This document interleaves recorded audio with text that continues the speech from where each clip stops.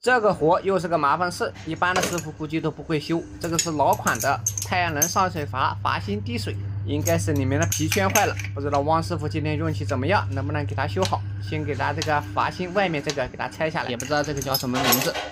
先用扳手拧生动，然后给它拧下来，然后就可以露出阀芯了啊！看看这里面是一个铜阀芯，这个外圈啊应该是密封圈坏了啊，现在正在渗水。今天这个活呢还真不知道。能不能修好？因为我以为它是那种新款的，它这个是老款的，瞧瞧看吧。先用扳手给这个阀芯拆下来。哎呦，这个铜的还是好啊！扳手稍微一拧，这个阀芯就松动了。哦，这个太阳能里面还有好多水，这里面的水流下来还是温的啊，估计热水还在上面，还没下来。不是分开的。我们需要给这个太阳能里面的水全部放完，这个阀芯才能拆下来啊。我们先给它阀芯给它拧生动，让它不停的流水，给太阳能里面的水给它流掉。哟，现在的水有点热了啊，我们给它阀芯关掉。然后现在呢，给洗脸池的热水给它开开，然后给花洒的水也给它开开啊。然后我们现在给它水放完，然后再给这个阀芯拆下来，再进行维修啊。这边的一个阀水关不掉，应该管不了它。我们现在等一会啊，嗯，这个热水出来，哟，好烫。再给水放大一点，让它多流一会。那就热水啊。嗯。好，现在这个水流了半个小时了，现在这个太阳能里面不出水了啊。我们先用手给它拧一下，这个阀芯好烫，哟，差点给我烫了。看，现在水已经没了啊，因为这个阀芯刚刚放了热水，阀芯好烫。我们现在在包里面找一个接水钳，然后给它阀芯给它夹出来。你直接用手拿，肯定等一下给手都烫个泡。好，现在这个阀芯就可以拿下来了啊，就是这个阀芯，应该是密封的防水皮圈坏了。我们今天看看能不能修好，观察一下啊，好几个密封圈都老化了，这个都十几年的阀芯了。像这个阀芯啊，像临时买还不好买，估计网上有买，但是也不知道什么型号。我今天想办法给它拆件，给它修一下。先给这个开关阀的这个地方有个卡扣，给它。拽下来，然后这个防水皮圈，你看都老化了。然后里面的陶瓷阀芯，我们也给它取出来啊，轻轻的，别给阀芯搞坏了，有可能还能用得上。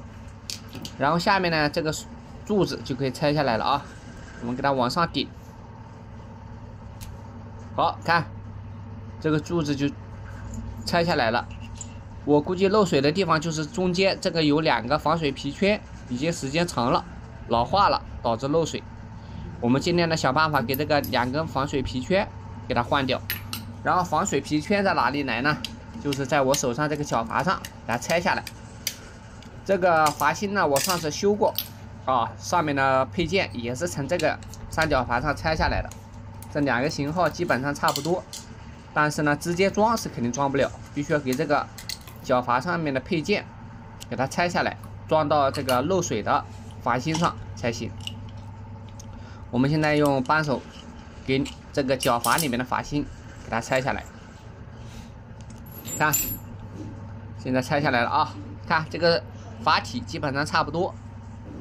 然后我们现在给这个防水皮圈，这个是一个，看这个皮圈跟老的皮圈基本上一模一样大啊！看，简直就一模一样。然后我们现在给这个角阀里面的陶瓷阀芯拆下来啊！这个阀芯和老的阀芯稍微比划一下，直径也一样，哎，非常完美啊！我估计这个阀芯应该能修得好。然后呢，现在呢，我们这个有个卡扣啊，和老阀芯一样，我们给它扣下来，然后给这个开关的柱子给它拆下来。好，然后看到没有，里面有两个防水皮圈。然后我们现在呢，就要给这个旧的这个。开关这个阀这个地方这个防水皮圈给它拆下来啊！哟，这个外面的这个你看，稍微弄了一下，这个防水皮圈就烂了。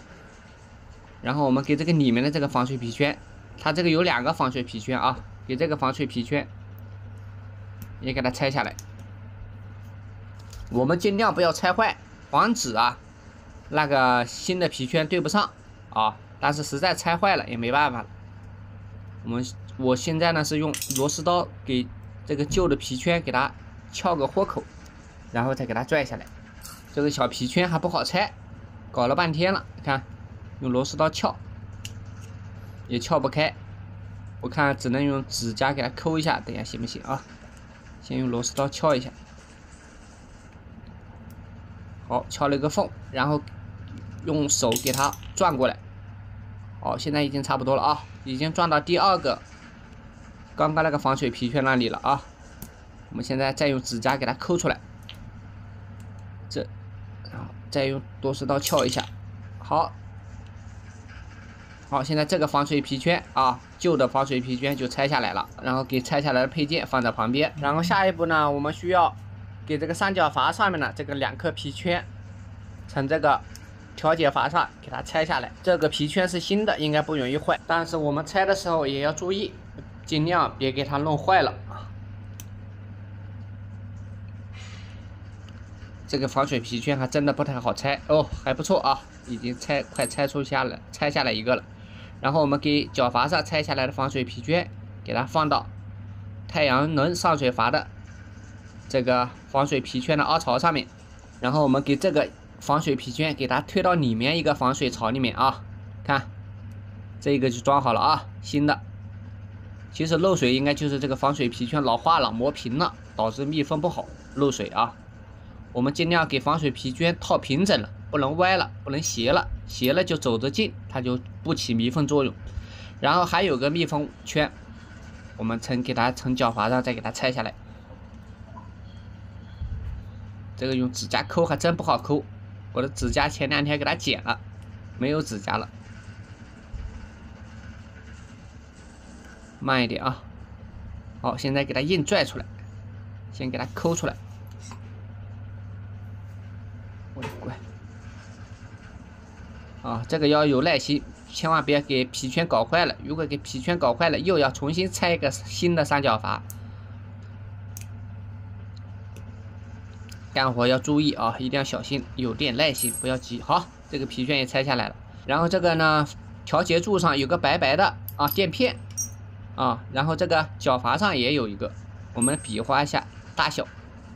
感觉还是给旧的装上去吧，怕新的好像跟这个老的不符合。但是这个皮圈是塑料的啊，不太老化，不容易老化。那我们还给它保留了吧，就不换了。然后我们给在脚阀上拆下来的新的防水皮圈啊，再给它装到这个老的太阳能上水阀这个调节柱上面，直接推进去，推到那个防水槽上面，然后给皮圈。给它调平整，让它别打弯了，打弯了它的直径就变细了，就不起密封作用了。好，我们现在呢，这个皮圈装好了，我们给这个调节阀装到这个旧的太阳能阀芯这个阀体上，然后给这个杆子慢慢的转啊，给这个皮圈转到密封的位置啊，然后看看，现在转到位置了啊，然后给那个这有个卡簧给它卡上去，我们还是用旧的吧，我怕新的跟它有点不匹配。好，我们给这个卡簧。卡上去，然后这个调节柱和这个阀芯的阀体就拆不下来了。然后下一步呢，怎么弄呢？下一步呢，我们就给这个阀芯装上去。我准备呢用这个新的陶瓷阀芯，这个新的阀芯陶瓷阀芯呢就是在脚阀上拆下来的啊。因为旧的呢它用的时间长了，怕有磨损，容易漏水。然后我们给这个新的陶瓷阀芯装到旧的太阳能这个阀芯阀体里面啊，然后用。尖嘴钳给它调整一下，让它别歪了啊。那个新的陶瓷阀芯里面油还在，老的里面没有油了。新的阀芯装进去还挺灵活的。然后这个防水皮圈呢是脚阀上面的，是新的，我们肯定用新的，因为旧的已经老化了，变薄了啊。好，这个阀芯。这样就装好了啊，组装好了。师傅们，你们觉得这样组装的拼装的这个阀芯行不行？我觉得可以啊，因为我上次修过也非常成功。然后我们现在呢，给这个修好的这个阀芯，给它装到这个墙上的太阳能上水阀的阀体上。我们给它对准丝牙，用手拧几圈，直到手拧不动，然后再用扳手给这个阀芯拧个八九分紧就可以了啊，也不要拧得太死。好，这个阀芯拧紧以后，就可以给楼下的水表箱的总阀给它打开了啊。开个水看看是。嗯，好，看这个啊，手机在这。手机带的。老板让老板娘下去开水表的总阀了，然后我顺便再给这个阀芯稍微再紧一下。好，现在就等待上水了啊。好，现在水来了，我们开一下阀啊。也可以上水，也可以关闭。但是今天外面的太阳特别大，不能上水。如果上水，给太阳能管子给它顶爆了。刚刚开了水，现在观察了一下，这个阀芯这个地方不漏水了啊，证明这个阀就修好了。然后呢，我们现在就给这个阀重新给它装回去，就原来一个这个这个东西呢，都没有这个东西给它拧上去，它这个东西生锈了，拧的时候还不好拧，很难对准丝牙。有这个，不过还不错啊，经过不停的努力，这个东西还终于拧上去了。上面那个阀上面盖着了。好，现在这个东西拧上了，然后给它稍微拧紧一点就行了，不要拧太紧。然后这个装饰盖呢，也是直接这样套进去的。好，然后下一步呢？我们给这个调节阀给它装进去，然后还有一个小螺丝，我们给它拧到调节柱上。这个小螺丝也有点生锈了，但是还好还能使用。我们先给它手给它拧上去，然后再用小螺丝刀给这个固定螺丝稍微给它拧紧一点就可以了啊。今天运气还不错，这个阀终于修好了，我还以为白跑嘞。哎呀，今天运气爆棚啊！好嘞，最后我们给这个装饰盖再给它盖上去，这个。太阳能上水阀漏水就修好了啊！感谢大家的耐心观看啊！有哪里不足，请多多指点。感谢观看，拜拜拜拜。